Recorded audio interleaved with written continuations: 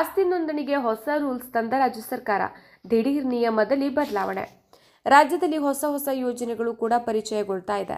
ಅದರ ಜೊತೆಗೆ ಸಾಕಷ್ಟು ನಿಯಮಗಳಲ್ಲಿಯೂ ಕೂಡ ಬದಲಾವಣೆಗಳು ಆಗ್ತಾ ಇದೆ.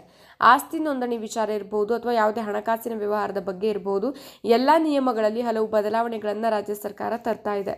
ಇದೀಗ ಸ್ಥಿರಾಸ್ತಿ ನೋಂದಣಿ ಮಾರ್ಗಸೂಚಿಯನ್ನು ಪರಿಶೀಲಿಸಿ ಹೊಸ ನಿಯಮವನ್ನು ಬಿಡುಗಡೆ ಮಾಡಿದೆ. ಬಿಡುಗಡೆ ಮಾಡಿರುವ ಈ ಹೊಸ ನಿಯಮ ಗ್ರಾಹಕರಿಗೆ ಲಾಭವಾಗಲಿದೆಯೇ ಅಥವಾ ಜೇಬಿಗೆ ಕತ್ತರಿ ಬೀಳಲಿದೆಯೇ ಅಂತ ನೋಡೋಣ. ಸ್ಥಿರಾಸ್ತಿಯ ದರ ಶೇಕಡಾ ಮೂವತ್ತರಷ್ಟು ಹೆಚ್ಚಳ. ರಾಜ್ಯ ಸರ್ಕಾರ ಸ್ಥಿರಾಸ್ತಿ ನೋಂದಣಿಗಳ ಬಗ್ಗೆ ಹೊಸ ಮಾರ್ಗಸೂಚಿಗಳನ್ನು ನೀಡಿದ ಬಗ್ಗೆ ಅಧಿಕೃತವಾಗಿ ಮಾಹಿತಿಯನ್ನು ಕೂಡ ರಾಜ್ಯ ಸರ್ಕಾರ ನೀಡಿದೆ. ಈ ಹೆಚ್ಚಳದಿಂದಾಗಿ ಆಸ್ತಿ ನೋಂದಣಿ ಮಾಡಿಸಿಕೊಳ್ಳುವುದು ಜನರಿಗೆ ದುಬಾರಿಯಾಗಿದೆ ಎನ್ನಬಹುದು.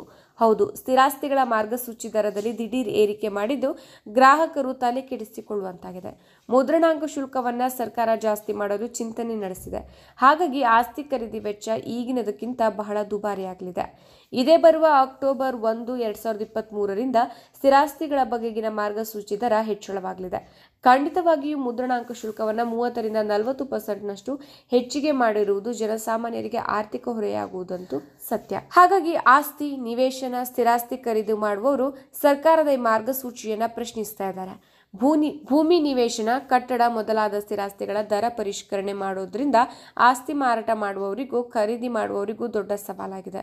ಇನ್ನು ಎರಡ್ ಸಾವಿರದ ಇಪ್ಪತ್ಮೂರು, ಇಪ್ಪತ್ನಾಲ್ಕನೇ ಸಾಲಿನಲ್ಲಿ ಸ್ಥಿರಾಸ್ತಿ ನೋಂದಣಿ ಮಾಡಿಸಿಕೊಳ್ಳುವವರ ಸಂಖ್ಯೆ ಕೂಡ ಹೆಚ್ಚಿದೆ. ಹೀಗಾಗಿ ಸೆಪ್ಟೆಂಬರ್ ಮೂವತ್ತರವರೆಗೆ ರಾಜ್ಯದ ಎಲ್ಲ ಸಬ್ ರಿಜಿಸ್ಟರ್ ಕಚೇರಿಯಲ್ಲಿ ಕೆಲಸ ಮಾಡುವ ಸಮಯವನ್ನು ಸರ್ಕಾರ ವಿಸ್ತರಿಸಲು ನಿರ್ಧರಿಸಿದೆ. ಬೆಳಿಗ್ಗೆ ಎಂಟು ಗಂಟೆಯಿಂದ ರಾತ್ರಿ ಎಂಟು ಗಂಟೆವರೆಗೂ ಇನ್ನು ಮುಂದೆ ಸಬ್ ರಿಜಿಸ್ಟರ್ ಕಚೇರಿ ತೆರೆದಿರುತ್ತೆ. ಬರೋಬ್ಬರಿ ಹನ್ನೆರಡು ಗಂಟೆಗಳ ಕಾಲ ಕಚೇರಿ ಓಪನ್ ಇರೋದ್ರಿಂದ ಸುಲಭವಾಗಿ ಜನ ನೋಂದಣಿ ಕೆಲಸವನ್ನು ಮಾಡಿಸ್ಕೊಳ್ಬಹುದಾಗಿದೆ. ತೆರಿಗೆ ವಿಚಾರಕ್ಕೂ ಸಂಬಂಧಪಟ್ಟ ಹಾಗೆ ಆಸ್ತಿ ನೋಂದಣಿಯನ್ನು ಬಹಳ ಶೀಘ್ರವಾಗಿ ಮಾಡಿಸ್ಕೊಳ್ಬೇಕಾಗತ್ತೆ. ಅದು ಅಲ್ಲದೆ ಮುಂದಿನ ತಿಂಗಳ ಹೊಸ ನಿಯಮ ಬರೋದ್ರಿಂದ ಈ ಹಿಂದೆ ತೆಗೆದುಕೊಂಡ ಸ್ಥಿರಾಸ್ತಿ ನೋಂದಣಿಯನ್ನು ಮಾಡಿಸಿಕೊಳ್ಳಲು ಜನ ಮುಗಿಬಿದ್ದಿದ್ದಾರೆ. ಹಾಗಾಗಿ ನೋಂದಣಿ ಕಚೇರಿ ಜನರಿಂದ ತುಂಬಿ ತುಳುಕಾಡ್ತಾ ಇದೆ. ಇದೇ ಕಾರಣಕ್ಕೆ ಜನರಿಗೆ ಅನುಕೂಲವಾಗಲಿ ಅಂತ ಕಚೇರಿಯ ಕೆಲಸದ ಅವಧಿಯನ್ನು ವಿಸ್ತರಿಸುವ ನಿರ್ಧಾರವನ್ನು ಸರ್ಕಾರ ಕೈಗೊಂಡಿದೆ ಅಂತಾನೆ ಹೇಳ್ಬಹುದು.